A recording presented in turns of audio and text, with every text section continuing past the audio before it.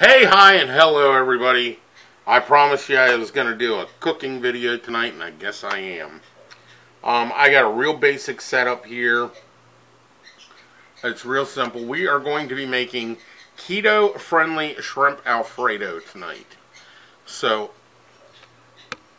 in doing all that, it's going to be, uh, I'm, I'm actually in my living room because I'm basically wheelchair bound. It's hard for me to get the cat. It's hard for me to uh, get out and cook because my stove is a regular stove. So when I cook, I have to cook like this. Here, I can actually sit and reach everything, and, and I'm comfortable. So we're gonna cook this. I don't know how long the video is gonna be because I'm I'm cooking from scratch. This isn't out of a can, and it's my own recipe. Um, so bear with me. I'm gonna cook it. It's gonna be awesome, and then I'll show it to you guys as I'm done. Uh, we're gonna start, I guess now. So, um, give me a minute. Let me start my little burner up. Uh, I just I have a very basic like camp burner style uh, butane stove. Where's my big plate? What we're going to start out with, make sure your pan's getting hot, which it is. What we're going to start out with is two tablespoons of sweet cream, unsalted sweet cream butter, uh, regular butter, whatever, whatever you want to call it. And we're going to let that get get all melty and nice and pretty. Now you don't want to brown your butter. Uh, the worst thing you can do in this for this recipe is brown your butter. There are recipes that call for brown butter, but we'll get into that later. Um, this being the first cooking video, we're gonna give it a shot. You know, I really start thought about uh, doing a cooking show called The Pissed Off Chef, and uh, I realized it was only going to be good for like HBO and Cinemax, so I decided against it. It would have been funny though. I just would have like yelled at the ingredients and thrown shit around everywhere. It would have been a great thing. More of a comedy show than it is anything. I love to make people laugh. So, all right.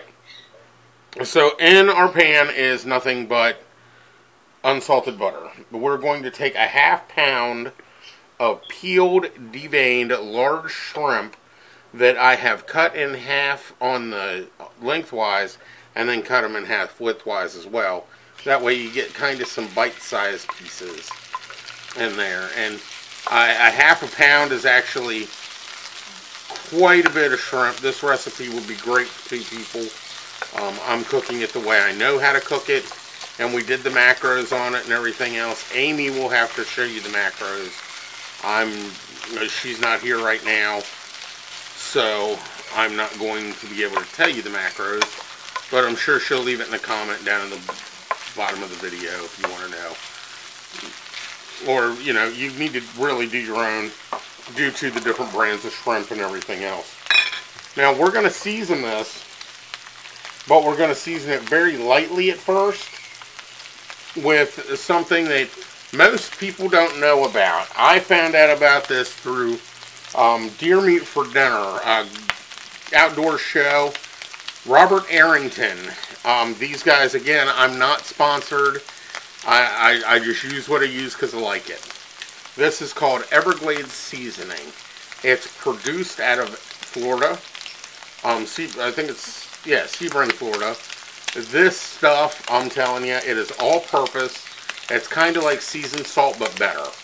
I absolutely adore the stuff. Um, I use it on everything from fish, shrimp, crabs, um, sandwiches. I mean, you can put it on anything. It's really good. kick my heat back just a little bit. Anyway, catch my, my shrimp on fire here. So you want your shrimp to get kind of pink like that and start to brown up a little bit. They'll get those pretty little brown bits. And then what we're going to do is shake on some of this Everglades here real quick. Just to get things started. Ah, that's I, I, wish you guys could smell it. the smell of it's just Everglades seasoning, man, I'm telling you. And they have several different seasonings. They have barbecue sauce. They have have cactus dust, which is like a barbecue shake. Um, they have uh, fish and chicken, which is really good. Uh, they just have a whole bunch of good stuff. Then to that, we are going to add a cup of chopped broccoli. Now this is just steamed chopped broccoli, nothing major. Nothing, uh, there's no, there was no butter on it or anything like that. It was just steamed chopped broccoli. And then we're going to kind of stir that in there and get that going and heating up. Now you can see how, I mean, that looks good. I could sit here and eat that by myself and I'd be okay with that. And we're just going to kind of let that heat up a little bit. Um, the the broccoli was refrigerator cold and so I just want it to kind of come up to temperature with everything else in the pan. And it kind of deglazes the pan. If you look, there's none of those little brown bits sticking there. All that goodness is right inside this dish. It's uh, It just makes all the difference in the world. You get that kind of caramelized taste from the shrimp. And um, I'm a big advocate for flavor. So the next thing we're going to add is heavy cream.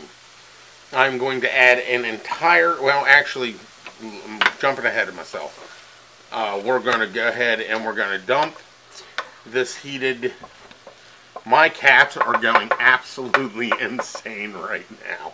So if you hear me yell at my cats, it's because they smell shrimp and they want it. I've got Lydia, which is my youngest, down at my feet kind of looking at me and looking for anything that I can possibly drop. I, she said, uh, these cats are just going absolutely nuts. I'm going to have uh, Zane, actually, you're going to see his arm for a second, so sorry about that. Zane, I need that plate, please, so I can dump this off real fast. And so what we're doing is basically we're emptying the frying pan to get ready to start cooking the sauce. Now the sauce, of course, is a big part of this. God, this smells good, doesn't it, Zane? It smells really good, actually. Vic, make sure the cats don't eat So it. what what we're gonna do? We need to kick the heat back. We need it kind of low because we're gonna dump an entire cup of straight heavy cream right into the same skillet. Now, what that heavy cream? I mean, you know, it's a cream sauce, so you have to have your cream. Try to get it all out. Try to get it all out. Heavy cream's expensive. Then we are going to add to that, let, let this kind of come up to heat just a little bit. You want to try to keep it stirring because a cream, milk, anything like that will scorch very quickly. And the worst, one of the worst things you can do is scorch cream, man. It's nasty when it scorches. So, we are going to wait till this comes up to heat a little bit. Well, it shouldn't take long in that hot skillet like that.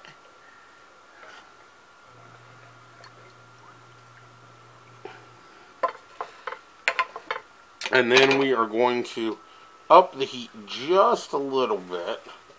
Not a whole whole lot. We want it to start to simmer just a, a tiny bit before we oh, that was a that was a little much. We, we want it to start steaming and, and start getting some bubbles in it before we go to the next step. The next step is adding a cup, an entire cup of shredded real Parmesan cheese. You don't want to use the shaker cheese. It's got all sorts of stuff in it that I I, I prefer fresh shredded Parmesan cheese. You like my bowls, guys? I'm, I didn't have enough little bowls, so I used disposable cups. Sorry, I used what I got. So uh, once we start, you can see the bubbles here. Then can you see those in there? Mhm. You can see the bubbles starting to form here. So what you do once that happens is you start shaking in an entire cup of Parmesan cheese. I know what you're thinking. That's a lot of cheese. It is, but it's really good. And then you want to start stirring that in. Now it's going to seem like it's a little thin at first, but as you cook it and that cheese incorporates into that cream, it will get thicker. Um, you don't want this to be stew thick, I promise you. That's too much, it's too hard to handle. And you can see how it's starting to thicken up now. We're starting to get some nice nice mixture in there. And man, I'm, I'm hungry just looking at it. So once you get that down, uh, you can see how it's starting to thin out. Once we get there, we are going to go ahead and add, we're going to kick that heat back just a little bit. I'm used to cooking on electric, and this is gas, and of course gas heats a lot faster and a lot better. I'm going to go ahead and add my palmini noodles. Um, if any of you that are doing keto know what these are, leave a comment. Um, I will explain what they are. Palmini noodles are hearts of palm that are cut in a way to make them resemble noodles. You want to boil those first before you use them. Boil them and rinse them off. If you don't, you're going to have a weird citrusy flavor because they pack them in a citrus, like citric acid, to keep them nice and white and pretty. Once you boil them and rinse them, though, they become extraordinarily bland. Then we're going to add back in, we're going to add the shrimp and the broccoli back in, just like this. And once that's added in, that'll be our serving plate. And once that's added in, you want to go ahead and you just want to start folding in all the sauce and all the shrimp right into those palmini noodles. Now, doesn't that look good? That looks phenomenal. We're not quite done yet. this is wonderful looking, actually. So, now that you have all that, and everything's staying hot and looking good and nice and thick and, and kind of yummy. Oh, man, that looks good. I can't wait to dig into this. This is actually my dinner tonight, so uh, I'm very excited about it. I'm going to taste it here real quick and see what it needs. It doesn't need much, believe it or not. What I like to do with all of my Alfredos, especially if it's a seafood Alfredo like this one, I like to add about, I don't know, there's about a teaspoon and a half of lemon zest in there. And it gives it a little citrusy bite, but you want that lemon flavor. That's the good part about adding the lemon zest. So you go ahead and you mix that in and only used the. Uh, there was so little lemon zest there, it's not even funny, and it's going to bring such a, a potent flavor to this dish. It's you know, it's just unbelievable. So we're going to go ahead and we're going to flip this around and get it all mixed in and stirred in there. And again, now we're going to go back in with some more of the Everglades. I know I, I seasoned the shrimp with it, but that was all I seasoned with it. So what we're going to do is we're going to go ahead and give it a, a fairly nice coating of Everglades here just to spice it up a little bit. And that adds your garlic and your salt and your pepper and everything else that's in Everglades. And it's really good. I mean, I'm I'm not even kidding. I I use this stuff on everything. So but there you have it. That is basically all there is to it, guys. And that is homemade from scratch, keto friendly, 100% keto friendly. Um, shrimp alfredo with broccoli. So, I don't know about you guys, but I see this pan of food sitting here and I'm hungry. So I'm going to go ahead and I'm going to eat. But you guys go ahead and try this recipe out for yourselves it's excellent tasting, it's healthy, it's fresh, and it, it follows right along with what we're doing. So I'm going to go ahead and plate this up and eat my dinner. Stay healthy, stay happy. I'll see you guys later.